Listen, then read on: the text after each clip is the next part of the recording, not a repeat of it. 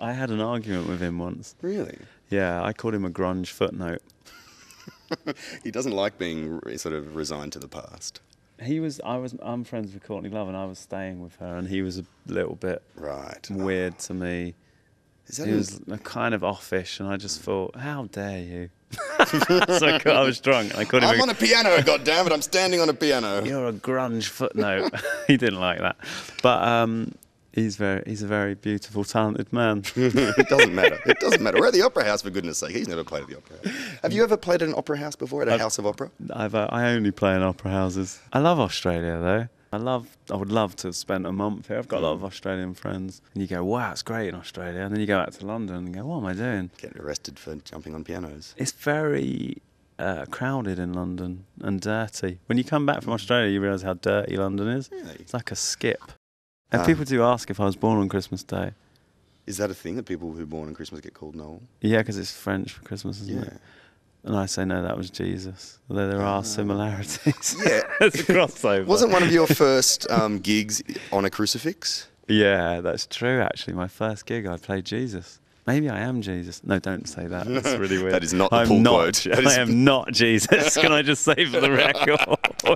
I'm Judas. Funny enough, I'm friends with Tame Impala. Do you know them? Yeah, of course. I love those boys. Hey, good boys. They're like a proper 60s band. They've Yeah. got that authentic psychedelic sound. And they're so young, but they're, they're like It's jamming is so good. Staggering how young they are.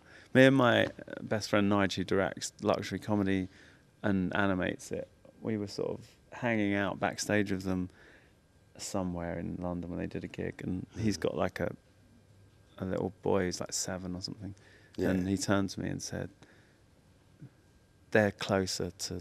These boys called Spike. They're closer to Spike's age than our age. and I went, yeah, I've never felt more like a paedophile backstage at their gig. No, thank you, man. That's Thank so you. good. Do you want to sing a song? You want to play a song? No, you should play it. All I, all I know, or the only song I know, which I've been playing repeatedly, is And I was walking in Memphis, walking with my two feet on. Remember that song? Walking in Memphis by Marc Cohn. Great song. No, but it sounded like on Bruce my blue Springsteen. suede shoes. Oh yeah, I do know that. It's the only song What I is it? Put on my blue suede shoes. And I boarded the plane. In these Woke up blue suede shoes, Yeah, he boarded the plane. yeah. He was heading to Memphis Right. because he's walking in Memphis. It's a bit of a cliche, isn't it? Everyone will be wearing blue suede shoes when you get there. He Well, wants you'd have to take them off now.